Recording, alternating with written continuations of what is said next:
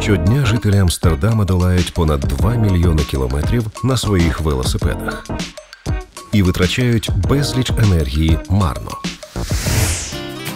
Голландські вчені вирішили перетворити її в електрику, що буде освітлювати міста.